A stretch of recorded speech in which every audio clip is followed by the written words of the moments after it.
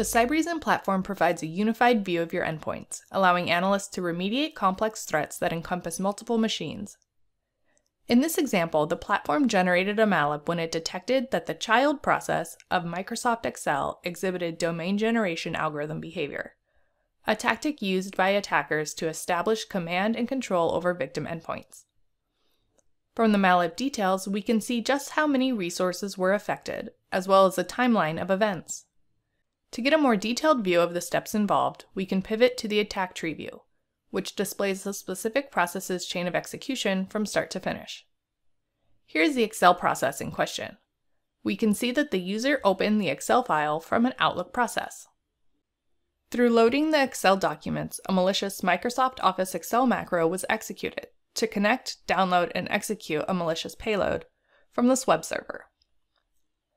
The execution spawned an interactive Meterpreter shell, a command and control framework used to execute code on victims' machines. The Meterpreter session established a connection to the attacker's command and control infrastructure, and to establish persistence, the Meterpreter session injected into Firefox to escape termination at the suspension of the Excel process. All of this information provides vital context to the detected threat, further confirming its maliciousness.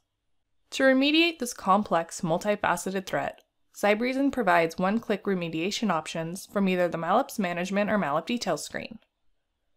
Depending on the detected threat, analysts can isolate endpoints, quarantine files, prevent file execution, kill a process, or delete registry entries.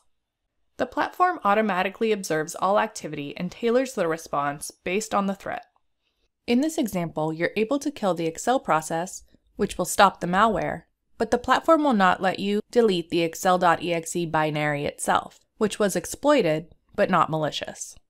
This allows more junior analysts to respond in force without the risk of accidentally interfering with legitimate business needs.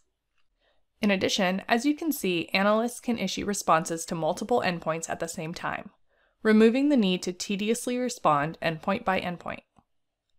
Analysts can also respond directly on a machine using Remote Shell. It's important to note that some of these responses also happen automatically, depending on your sensor security policy settings. The Cybereason platform is able to provide a variety of automatic detections and responses on Windows, Mac, and Linux machines. Sensor security policies allow administrators to set which detection and prevention features to enable. Admins can then apply these policies to individual sensors or sensor groups. From the Policies screen in the UI, Admins can define settings such as anti-malware detection and response, exploit protection to block exploit attempts, fileless protection, and anti-ransomware settings. We can see evidence of these settings in the MalOps the detections generate. For example, this MalOp was generated by the anti-malware feature when it detected known malware. Anti-malware features were able to automatically detect this known malware across endpoints on both Windows and Linux machines.